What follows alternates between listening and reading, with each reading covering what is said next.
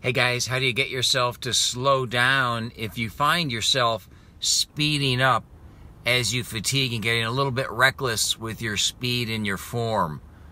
Best way to do this is to remind yourself that reps or the rep count don't matter.